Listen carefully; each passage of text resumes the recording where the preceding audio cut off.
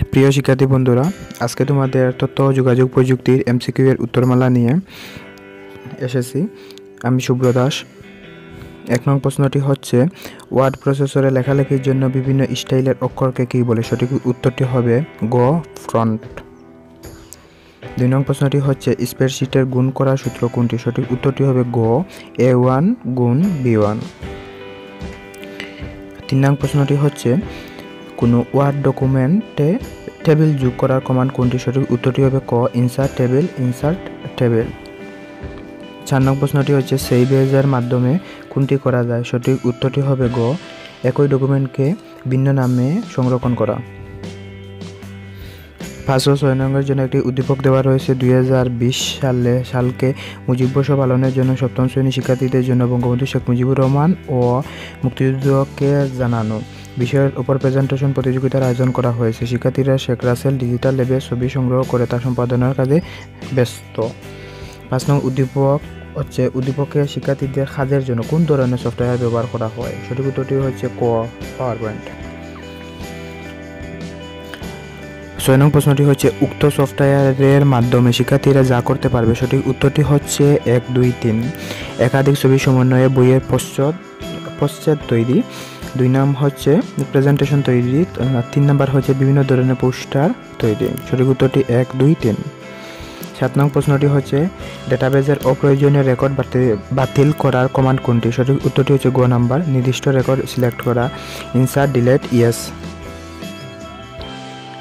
আট নম্বর প্রশ্নটি হচ্ছে ফাইল ফাইল ফিল্ড নেম এর আকার নির্ধারণের জন্য কোনটি ব্যবহার করতে হবে? সঠিক উত্তরটি হবে ক ফিল্ড সাইজ নয় নম্বর হচ্ছে প্রেজেন্টেশন স্লাইড প্রদর্শনে কিবোর্ড কমান্ড কোনটি? সঠিক উত্তরটি হচ্ছে এফ ফাইভ দশ নম্বর প্রশ্নটি হচ্ছে ডেটাবেস প্রোগ্রামের বৈশিষ্ট্য। সঠিক উত্তরটি হচ্ছে এক, দুই ও তিন। ফাইলসমূহের মধ্যে লিঙ্ক তৈরি করা, প্রয়োজনীয় রেকর্ড নিয়ে মেইলিং লেভেল তৈরি করা, আকর্ষণীয় গ্রাফ চার্ট ব্যবহার করে উপাত্ত উপস্থাপন করা।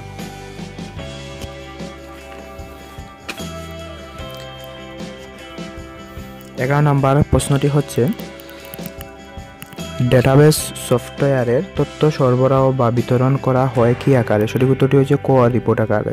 বারো নম্বর প্রশ্ন হচ্ছে পাত বা রেখা মোটা চিকন করা পরিমাপকে কী বলে? সঠিক উত্তরটি হচ্ছে গ, স্টক। তেরো নম্বর প্রশ্নটি হচ্ছে, ডিজিটাল বাংলাদেশ রূপকল্পের বাস্তবায়নের জন্য সরকার গুরুত্ব দিয়েছে। সঠিক উত্তরটি হচ্ছে এক, দুই ও তিন। মানব সম্পদ উন্নয়ন, জনগণের সম্পৃক্ততা, দৈনন্দিন জীবনে তথ্য প্রযুক্তির ব্যবহার। চোদ্দ নম্বর প্রশ্নটি হচ্ছে ভিডিও কার্যরত এক ধরনের কি? সঠিক উত্তরটি হচ্ছে হ, চিত্র। পনেরো নম্বর প্রশ্নটি হচ্ছে, কম্পিউটারের কাজ করার গতি বজায় রাখার জন্য কোনটি ব্যবহার করা হয়? সঠিক উত্তরটি হচ্ছে ডিস্ক ক্লিন আপ ও ডিস্ক ফিগামেন্টার। ষোলো এবং সতেরোর জন্য একটি উদ্দীপক রয়েছে। এই মুহূর্তে তোমরা দেখতে পাচ্ছ রাইহান সাহেব অনলাইনে মেয়ের জন্য একটি পোশাক পছন্দ করলেন। পণ্যটি অর্ডার করে হাতে পাওয়ার পর মূল্য পরিশোধ করলেন। উদ্দীপকে উল্লেখিত দোকানের জন্য প্রয়োজন সঠিক উত্তরটি হচ্ছে এক ও তিন। পণ্যের ছবি এবং পণ্যের ভিডিও।